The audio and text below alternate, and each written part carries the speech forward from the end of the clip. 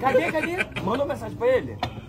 Manda Esse aí, cara que viado, fica manda tomando aí. cachaça e esquece das Manda aí. Manda aí. Mas ele liga, meu filho, é ligar. O quê? Mandar o quê? Mandar o quê? Falar aqui pra vocês, eu tô querendo trazer Nós tá querendo chamar o Manuel Gomes pra cá. pra fazer, a gente vai fazer um IRL com o Manuel Liga pra ele agora, Gomes, liga pra ele agora.